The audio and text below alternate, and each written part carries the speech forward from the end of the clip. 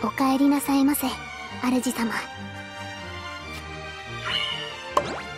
私からのプレゼントです。明日はこちらをご用意してお待ちしてますね。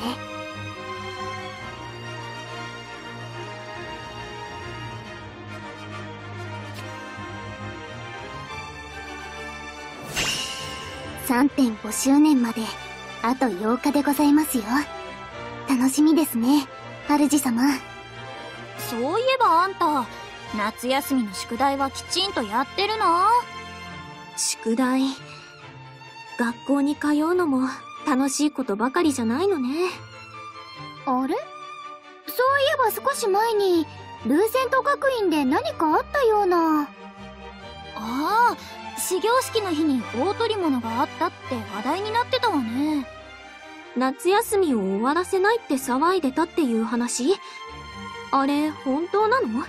都市伝説だと思ってたわ。その一件ならよく存じ上げております。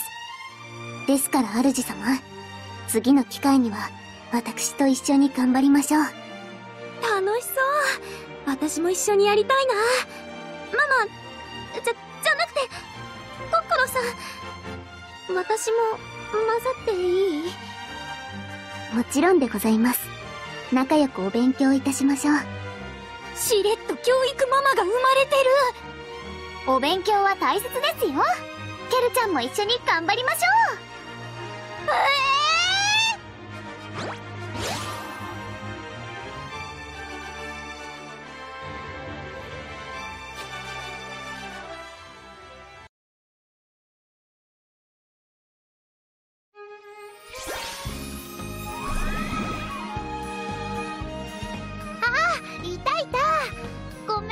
お仕事がちょっと長引いちゃって。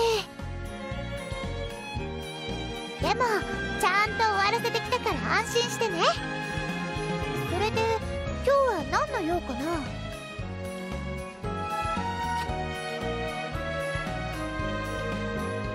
トップアイドルを目指すのなら誕生日だからって休んじゃいられないからね。これくらいへっちゃらへっちゃら。